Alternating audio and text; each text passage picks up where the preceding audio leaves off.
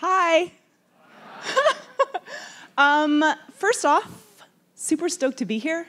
Um, I think that a lot of you would agree with me that sitting through that entire first section of the day was inspiring beyond belief. Like tears in the eyes, shaking, super excited, laughing, like all of the good human emotions came from this. So I think, first off, I would like to start by thanking Anthony and Will for putting this together. The fact that this space is created.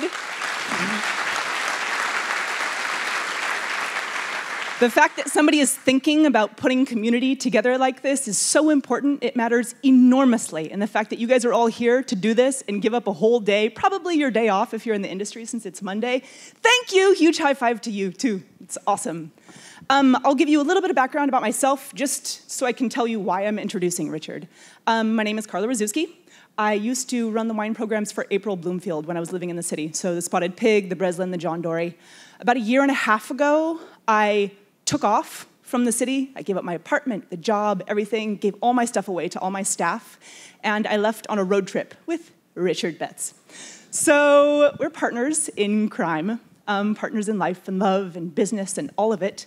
Um, what I'm doing now is two different things. I'm working on a company, working with a company with an awesome group of people, great team uh, called Reserve. It's a digital concierge app. And then Richard and I are also building our own company uh, in the wine. It's coming out in fall. It's called Sucette. It's from Australia. So two really, really fun things I'm working on.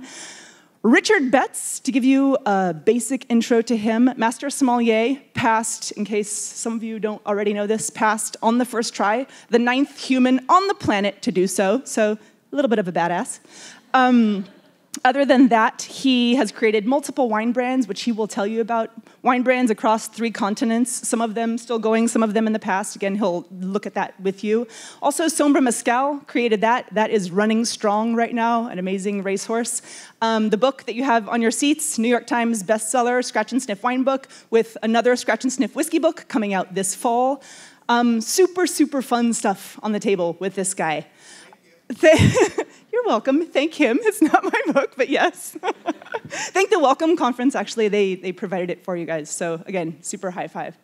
Um, over the past year, a lot has happened between Richard and myself with business, with leaving the city and everything, a lot of emotional stuff, a lot of like changes within myself.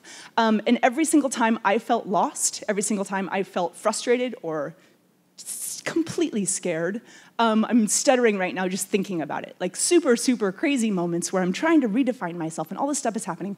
As my partner, again, in business and in life, every single time he like gently slapped my cheeks, gave me a big hug, and said, Let's go. It's time. Like, get up. We only have one chance in life. Let's do this. Figure out how to like get yourself together and let's get this thing, let's run, let's enjoy. So it's this, been this huge process of like flinging ourselves at the sun and just figuring out how to have as much fun as we can through the whole thing. So that indefatigable heart, that ability to like wake up every single morning and literally like a cat jump on the bed. This happens most mornings. It's not a joke. Um, that spirit and that heart, like I would walk through the fire for this man. I love him. I love him as a human. I love him as a partner. I love him as a business human. He has poked holes in what we all consider reality in terms of what you can do in this industry. Just a pretty fantastic human. The best human, I think, that I've ever met. Um, I can pretty strongly say that. He's my accomplice, uh, Richard Betts. Enjoy.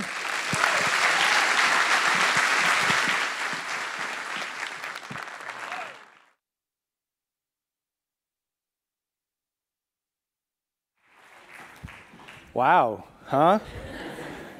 Um, I figured I'd get emotional at some point, but you made it happen right away. Uh, I too want to say thanks um, very quickly. Thank you, Carl. I love you.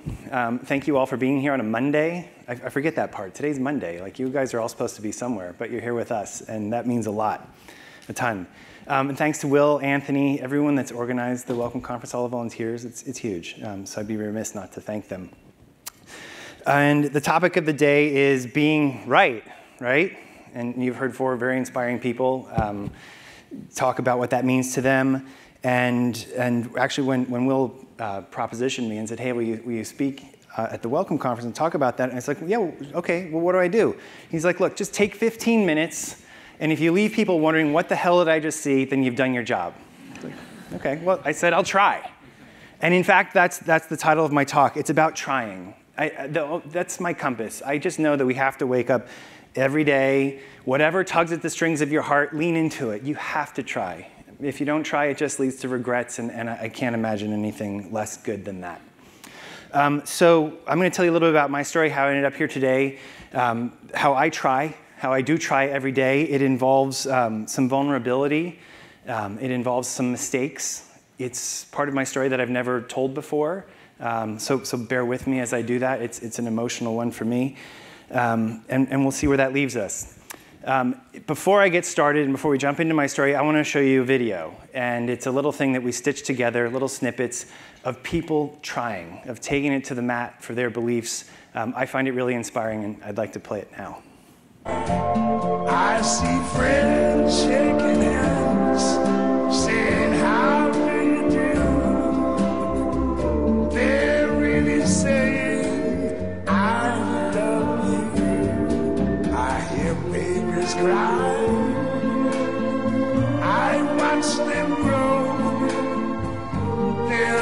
much more than I never knew.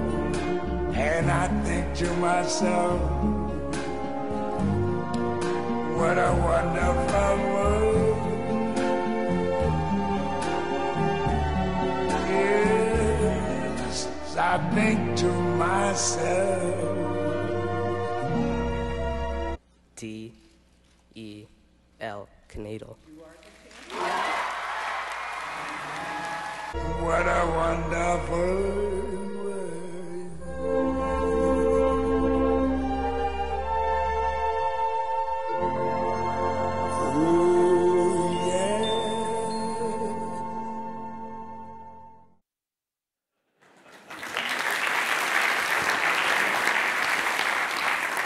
That's the best movie in the world. Um, and I think those are the two people Carla and I most identify with in life.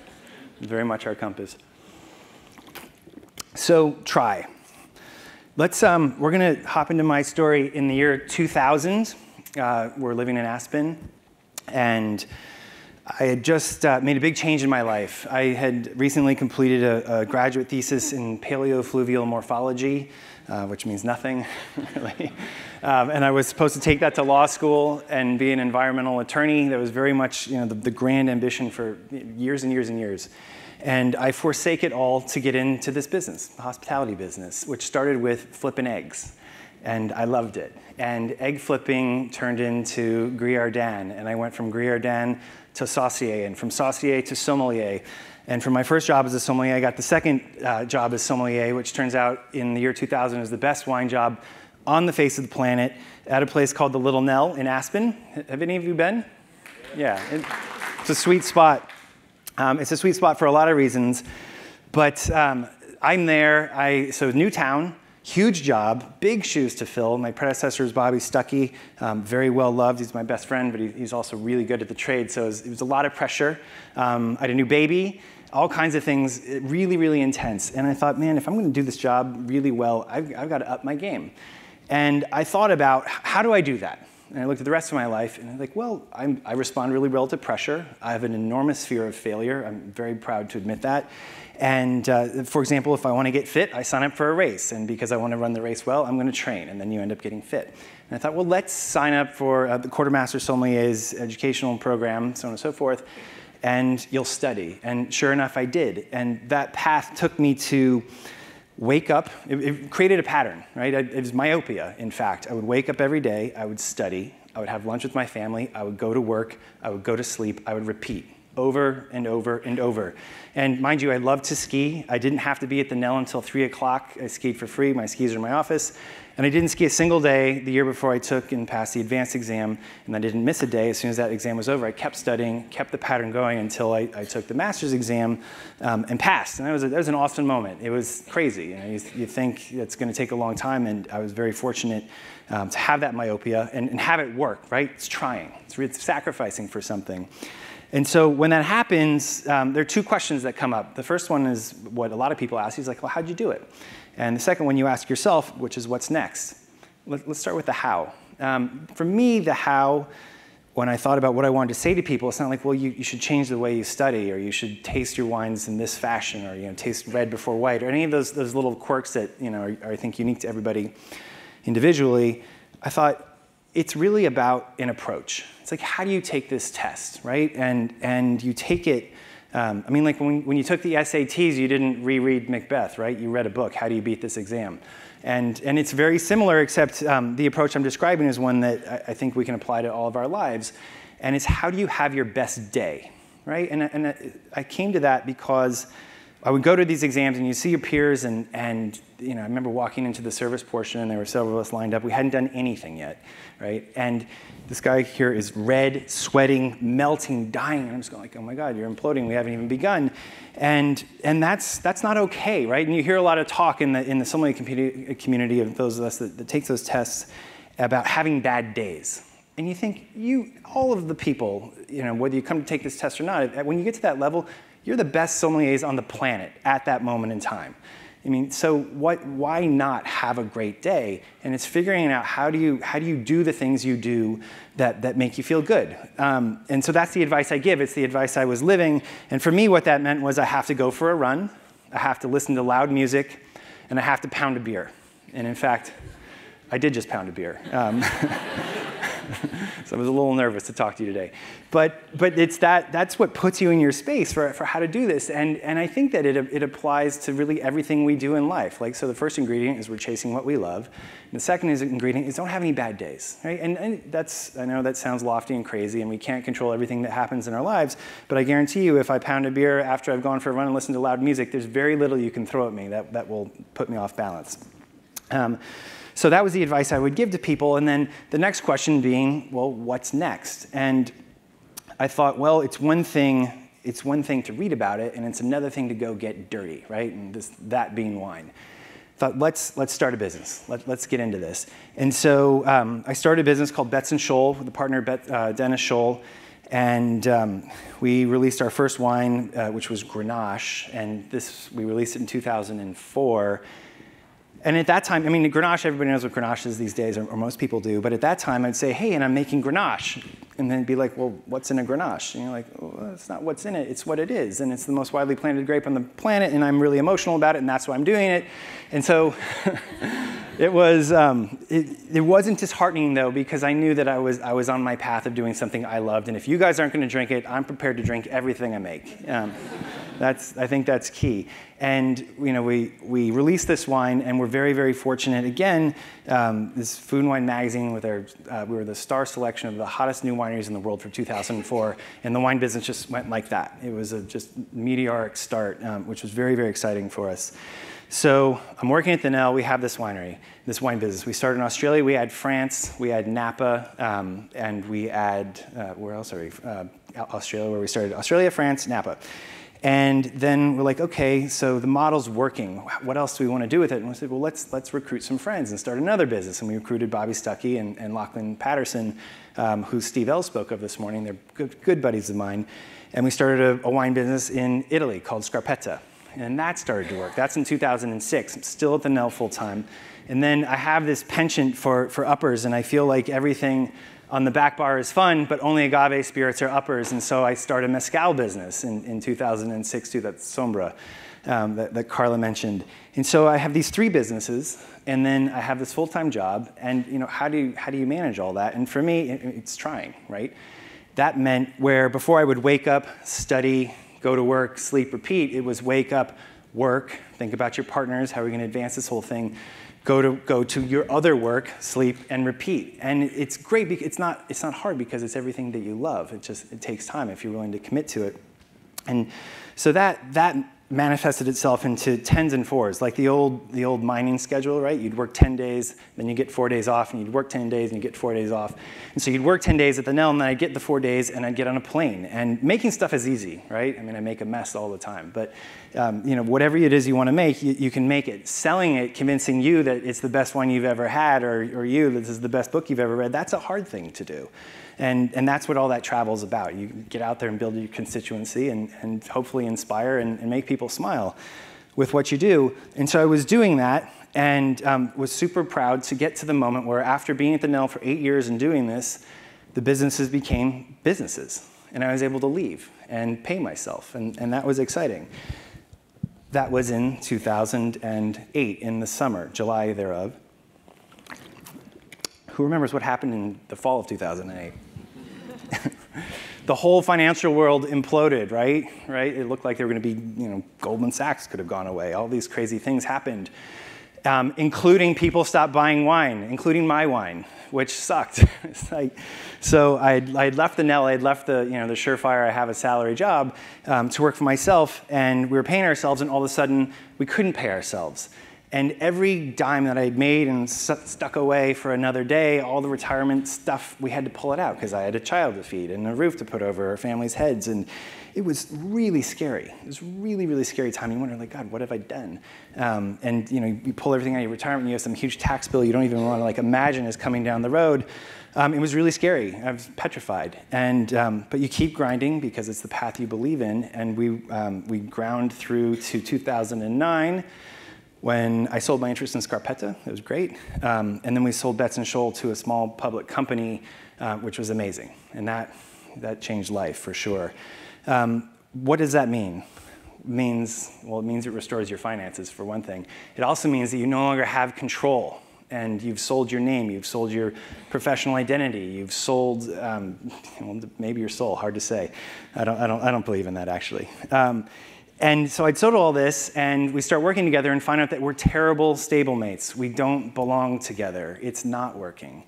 Um, it's, it's not working at all. All of the things we had hoped to create and enjoy in wine weren't happening anymore. And all of the relationships that I'd worked so hard to build were being compromised by people's actions that didn't care, right? Because you have shareholders and you have to figure out a return, and, and they, don't, they don't care about your personal relationships. And that, for me, I'm a, I'm a very emotional, very personal guy. That was a very hard thing to stomach. I'm also prone to distraction. I've learned that about myself, and I was for sure indulging in way too many um, distractions of all kinds of varieties, many of which I'm not proud of, but, but, um, but they're real, and I would be a liar if I didn't admit they didn't exist. And so it was, it was a very, very dark time. It got to a point where um, I left that company, and I mean, I, didn't even have a choice. They were like, fuck you, fuck you, and like, we're done. Okay, great. so I'm out. And, and you think, okay, well, now what? Well, now what? You get a non compete, which sounds really lovely in theory. Um, and in actuality, it's not a paid vacation, it sucks. Because this, is, this was your lifeblood. It's like what you do, it's what you need to do to be yourself. And it's almost like someone takes away your oxygen, and then that, that's gone. And it's terrible. And I was in the worst place imaginable. I got, it was like paralysis. And I got to a point where I really thought, I really stood there you know, for like a year and thought I had given away all of my good ideas. I had no idea what I was going to do next. It was brutal. I mean, just thinking about it, it's, it's painful. Um, it sucked. And, and then what happened? Then I got on my bike. And I don't know if Daniel Humm is still in here. He's going to speak later. I rode across Canada or BC with Daniel on a mountain bike. And I started inadvertently to find my way back to the, what I had been telling everyone else to do and not actually living on, in my own, on my own life or in my own life, which was finding my best self, right? That's, that's the thing. So um, something started to creep, something started to grow, and I realized that, that I, wasn't, I wasn't doing what I was preaching. And it, that was a huge reckoning, a huge moment. And in that moment, um, a saying came to me. I have this saying, and the saying goes like this Fuck Duke. That's right. yeah, fuck him. Any Blue Devils in here? Exactly. You and you and you. Exactly. Uh, yeah, exactly. Well, I grew up in Arizona, uh, Wildcat basketball fan, but um, apart from my sentiments against Duke as a team, they also have the best coach to have ever coached the game of college basketball, including John Wooden. I, I think Coach K is the guy. And he, he's amazing for a lot of reasons, but if you ever see him at a game, he's running up and down the sidelines yelling something. He's yelling, next play, next play, next play, next play. And this is it. That's the key. When you see him explain it, he says it's like this. I have a player, let's say he played 20 minutes last night. He had a bad night. He shot 10 times, he missed all 10 shots. Sulked, was definitely a downer for the team. And so I asked him afterwards, okay, how many shots did you miss? 10. How long does it take to shoot a shot? Half a second. So 10 by half is five. So five seconds. You let five seconds impact the other 19 minutes and 55 seconds you were on the court, right? That's insane. That's not okay. That's not okay. It's about being present. It's about forgetting what happened. It's about moving on. It's about moving forward, right? That's, I mean, that's the everything. Um, and as I thought about that, I thought, well, okay, it's your turn, Richard. Apply it to your life. Apply it to your life. And I did. And um, that was really hard. It remains hard. Um, I think good things are hard. But what that engendered for me was um, personal change. Uh, I, I, got a divorce after living with someone for 22 years from before the time I was legally able to drink. Um, we had a child together, and, uh, and that's hard. It's always, it's always toughest on the kids, um, no matter how you slice it. But it was important, and it, it had to happen. And I hope that uh, our daughter Bella sees that her mother is happier than she's ever been and that I'm happier than I've ever been. And hopefully we can work on that next play part that matters. Um, I applied it to my work, which you're now holding in your lap, and thought, okay, what, it, what is it that, that I, what's my most lofty ambition with, with service? Well, it's to make you smile, and to make you smile, and make you smile. And, and the way we do that, I think, is by being inclusive and not exclusive. And with wine, a topic that can be, you know, it's still young in our country, it's young on our shores. How do we make it inclusive? Well, for me, it's like knock it off the pedestal, right? You know, skip all the fancy stuff. Regard it as a grocery, not a luxury. And what better way to do that than write a scratch and sniff book, um, right? So yeah, and, but everybody I told that to laughed too, and they're like, yeah, sure. so what that meant was uh, I ended up creating this book and. Um, with, with two, two great partners, but I had to fund the whole thing, wrote it, we had it all put together. I funded the entire event, um, only to be told no so many times. And finally, I found an agent, a great agent, who said, Look, dude, there are three people, three publishers in the world that could pull this off. I'm happy to shop it for you, but don't get your hopes up.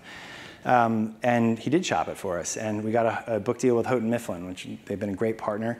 Um, but thanks to you guys, it actually it resonated with people again, right? And, you, know, you, do what you love, and I think I think that it catches on. It resonated to the tune of becoming a New York Times bestseller um, last uh, two falls ago, which is awesome. I mean, it's, it's a, who would have imagined a scratch and, sniff, scratch and sniff book on the bestseller list of the people that own this building? It's huge.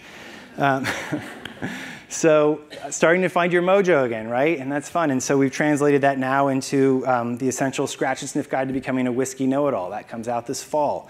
Um, as Carla mentioned, we're, we're, making wine together again, which is, which is so exciting for me. And um, this time around, everybody can say Grenache, but, but we'll see if they can say Sucette and Nichon. Um, that's to be determined, but it doesn't matter, it's fun. And I think probably the most, the most meaningful thing for me today is where we are with Sombra, and that's the, that's the mezcal company that I push on really 24 hours a day, forever and ever and ever. Uh, because when I started that in 2006, um, there's really one other premium mezcal in the space, and we started, and people they didn't had never even heard of it, any of it. They said, "Oh, Richard, you know, you're going to go to jail." It's like, what do you mean I'm going to go to jail? I'm like, drugs are illegal. And I'm like, what? And they're like, you can't sell mescaline. He's like, no, no, no. it's not mescaline, it's mezcal, right?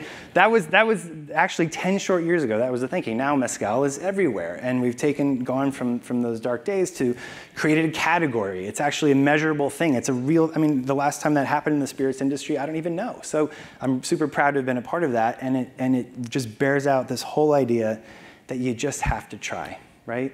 You just have to try.